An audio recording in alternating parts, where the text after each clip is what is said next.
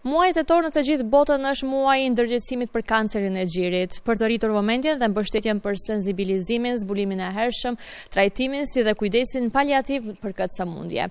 Për të kuptuar më gjerësisht rreth kësaj sëmundje, se si trajtohet, si zbulohet dhe shumë çka tjetër, doktori që asnjëherë nuk na ka refuzuar kur bëhet fjalë për këto tema, pra me mua afër është doktor Argjent Imeri, radiolog special nga Tetova. Përshëndetje doktor dhe mirë se na erdhët. Përshëndetje Aida, faleminderit për ftesën. Tetori pra është muaji për ngritjen e vetëdijes për detektimin e hershëm të kancerit të gjirit. Na thoni çka është kanceri i gjirit dhe sa i shpeshtë është ai? Kanceri i gjirit është një ndër sëmundjet më të shpeshta malinje te gratë. Simbas statistikave paraqitet Te dymbëdhjetë për qind e grave, që i bjen se pothuaj çdo e teta grua në botë në një fazë të jetës do jetë e prekur nga kjo sëmundje. Kanceri në përgjithësi, kanceri i gjirit, nëse ma konkret flasim, paraqet një lindje, një rritje dhe një shumim abnormal të qelizave, të cilat kanë potencialin të invadojnë strukturat përreth tyre, dhe eventualisht domethënë të përhapet edhe në pjesët tjera të largëta të, të, trupit. Mhm. në botë të marrim për shembull vitin 2018 nga statistikat e fundit që kam 1.2 milion gra kanë qenë 2.1 milion gra kanë qenë të prekura nga kanceri i gjirit. Uh, thuhet se mbi 650.000 gra kanë humbur betejën me, me këtë smundje Edhe mendoj që kjo është ajo që e bën të rëndësishëm këtë lloj iniciativave, këtë lloj diskutime, diskutimesh në media, qoftë ato të shkruar ose elektronike, që pikërisht të ngrisim vetëdijen për, për këtë smundje te gratë, se smundja është e tillë që nëse ne arrijmë atë ta zbulojmë në fazat e hershme, Ajo është plotësisht e mjekueshme e shërueshme. Cilat janë ato simptomat e para ndoshta që paraqiten tek gratë apo shenjat alarmuese që gruaja duhet të paraqitet tek mjeku?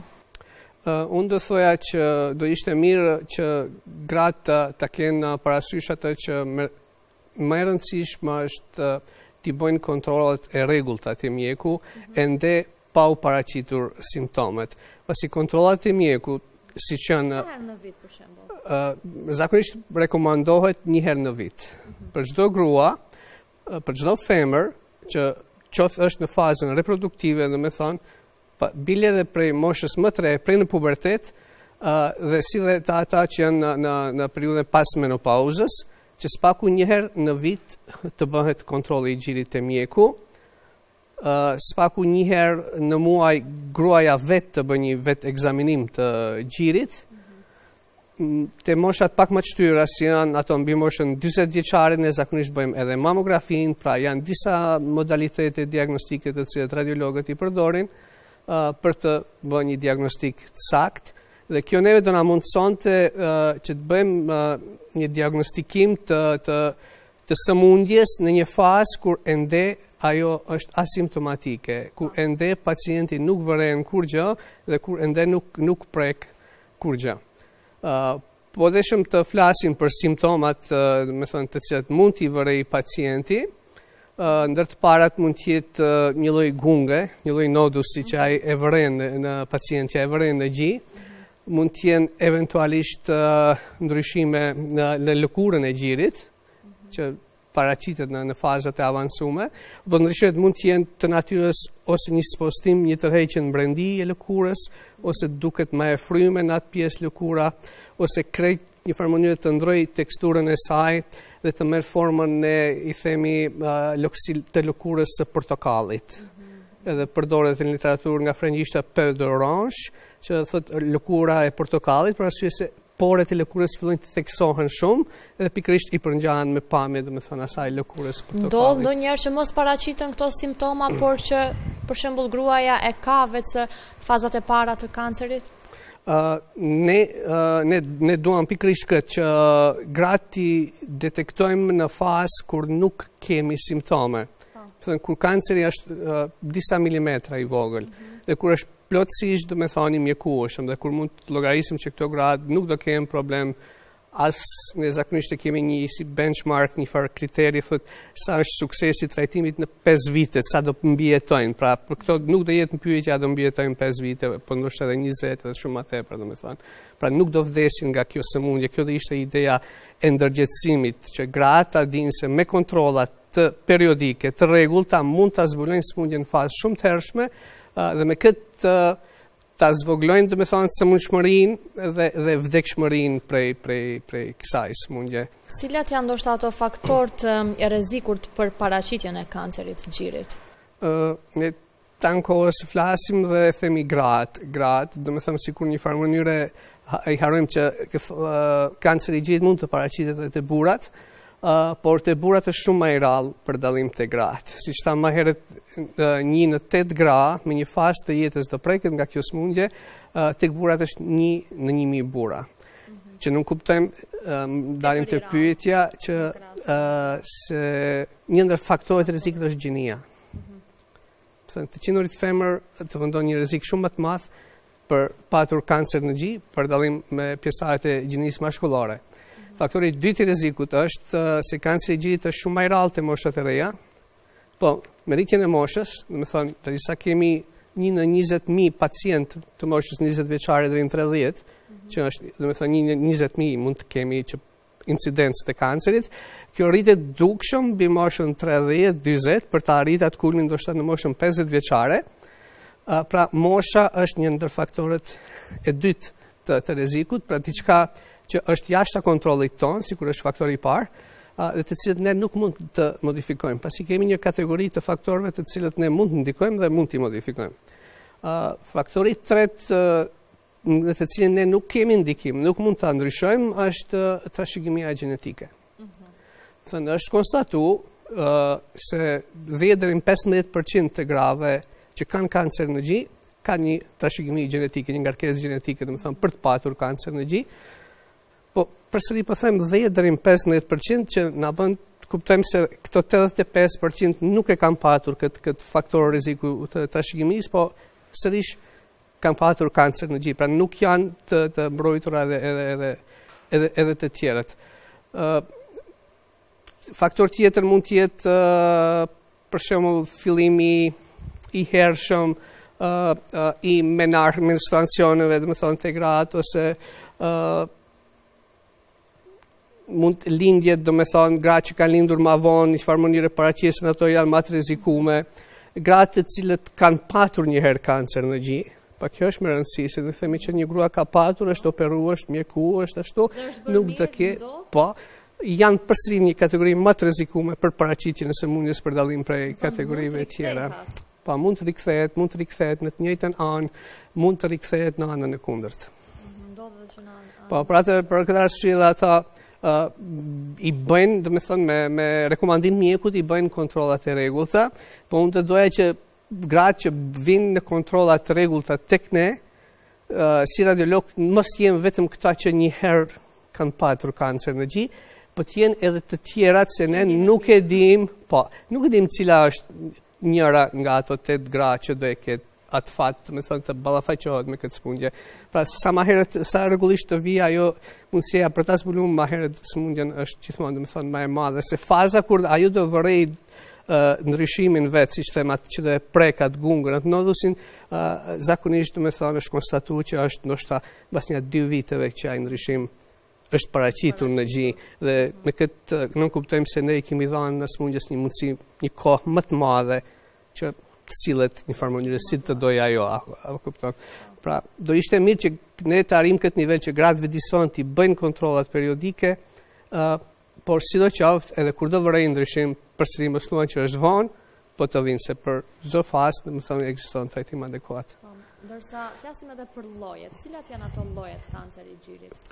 Ë llojet e kancerit të gjirit janë ndahen varësisht domethënë në cilën pjesë të gjirit ato paraqiten.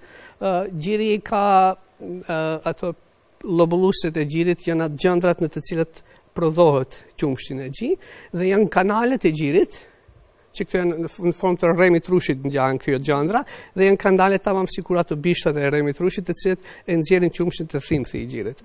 Dhe, dhe mandej është indi lidhor dhe dhjamor që i mbështil një farë mënyre këto dhe varësisht ku do paraqitet në këto pjesë të gjirit kanceri ashtu edhe bëhet ndarja e kancerit. Pra, Këto gjëndrat quheshin lobuluse dhe duktuse quhet kanalet. Dhe nëse kanceri paraqitet në lobulus quhet karcinoma lobulare e gjirit.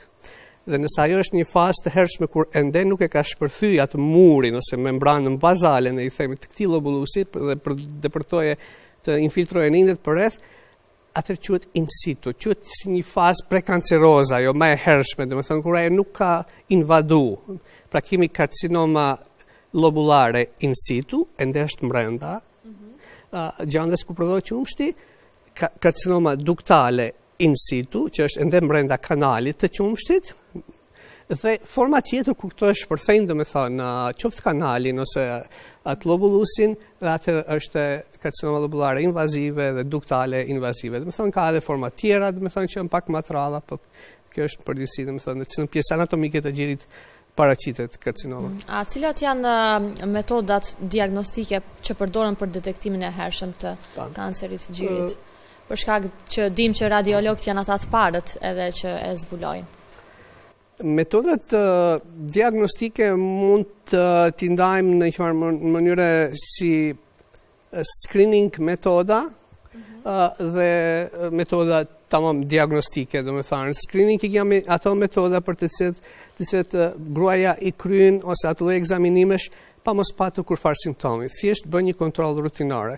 Qoftë që të jetë vetë ekzaminimi i gjirit, pra është një lloj screening metode, ë qoftë të jetë ehoja që e bën te mjeku ajo, do në disa vende është rekomanduar edhe kontrolli te specialisti që nënkupton specialisti të bëjë kontroll me palpim të gjirit.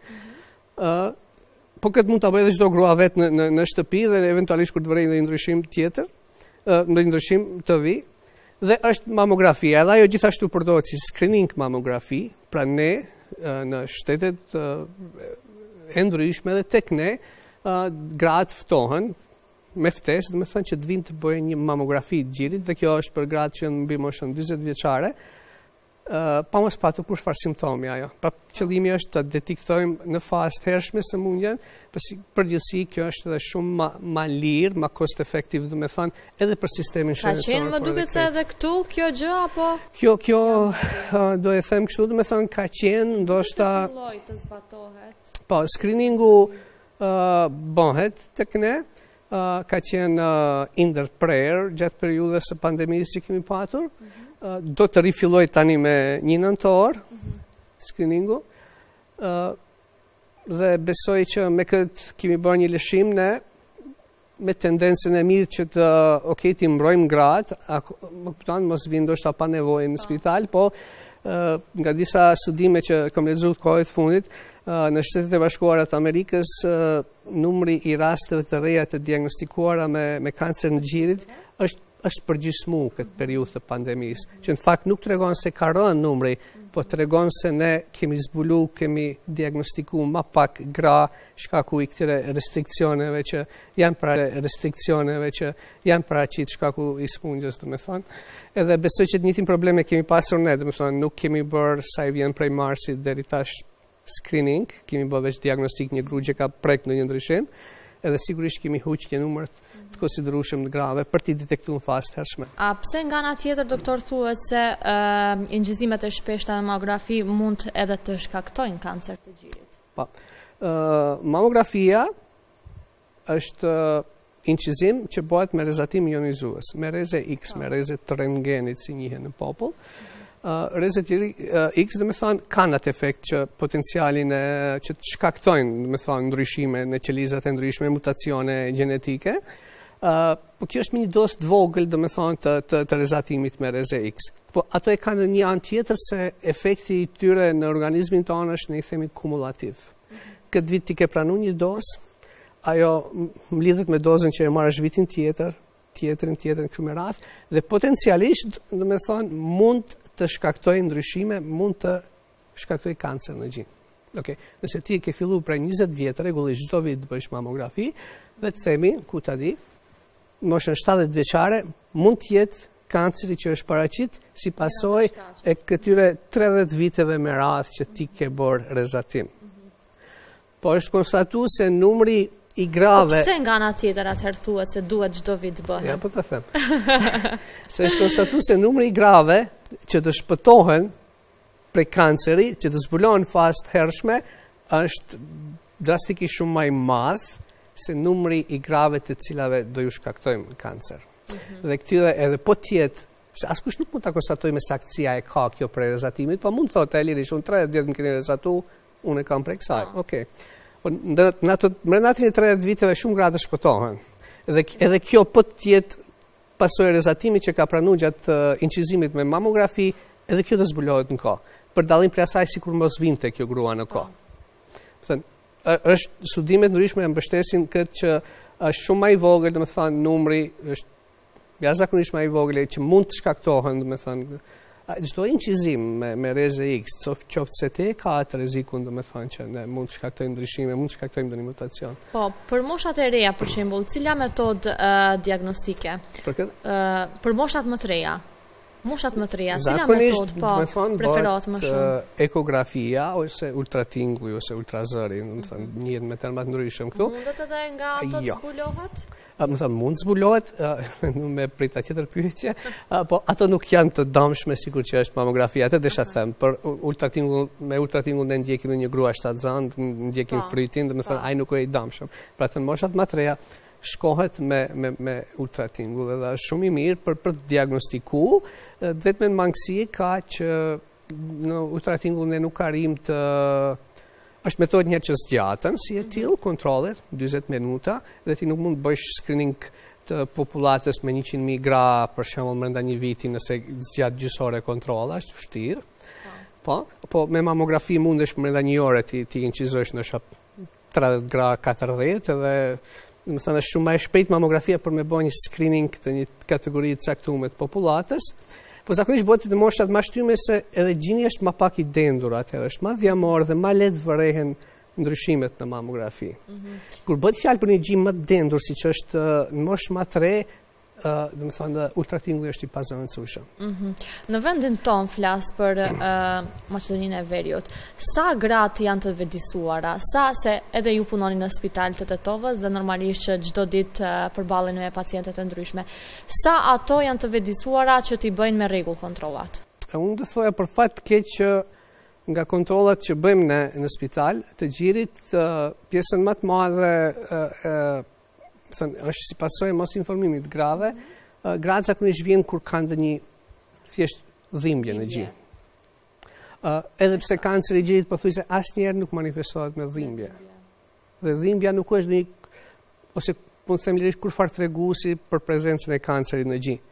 Gratë vijnë kur kanë dhimbje në gji, gratë vijnë kur paraprakisht janë diagnostiku me kancer në gji dhe bëjnë kontrollat të rregullta rutinore, mbasi njëherë janë diagnostiku, dhe shumë një përqindje shumë e vogël, vërtet shumë e vogël është, që ndoshta a është 5%, a është ma pak, vijnë se e dinë që duhet të vijnë njëherë në vit për të bërë kontroll. Po ju si spital, keni kapacitete të mjaftueshme të aparaturave?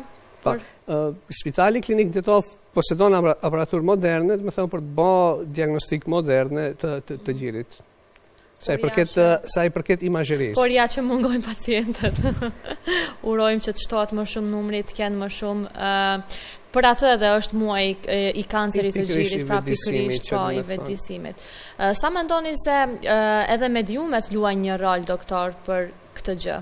Unë mendoj që roli i mediumeve është i pazëvendësueshëm, është roli kryesor në me, me emisione të këtij lloji që të, të ngrisin vetëdijen e grave për, për, për që të bëjnë kontrollat të rregullta pa marrë parasysh a kanë simptome, se simptomet të natyrës nga të cilat ata ato lajmërohen te mjeku nuk janë simptomet kryesore që tregojnë, po edhe ne duam t'i zbulojmë në fazën asimptomatike, në fazën kur nuk ka simptome, që është faza e hershme, faza kur kanceri është plotësisht. Cili do të ishte ndoshta mesazhi juaj për gjithë ato gra apo zonja që janë duke na ndjekur nëpërmjet ekranit televiziv, për gjitha ato që ndoshta asnjëherë nuk kanë vizituar mjekun kur bëhet fjalë një kontroll e gjirit.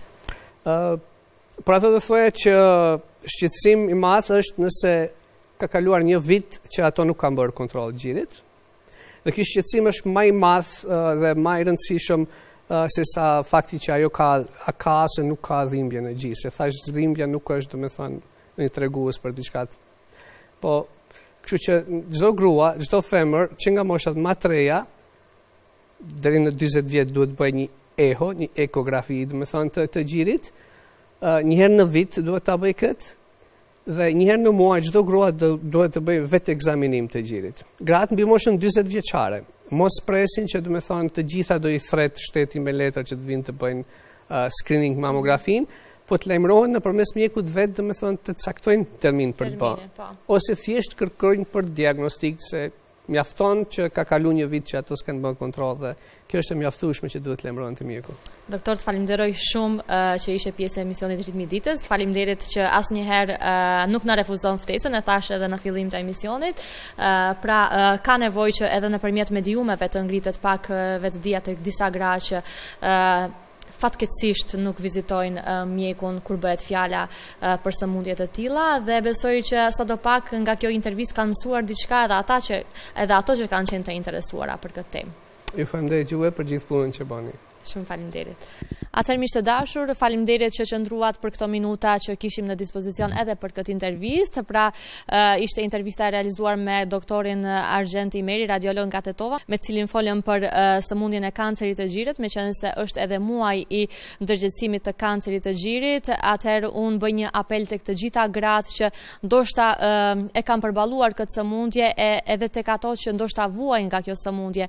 Dje e ke pasur ti, po ndoshta nesër mund ta kem edhe unë, kështu që për këto gjëra më shumë ndoshta vendos zoti lart, por mos harroni që duhet vizituar mjeku kur bëhet fjalë tek shëndeti.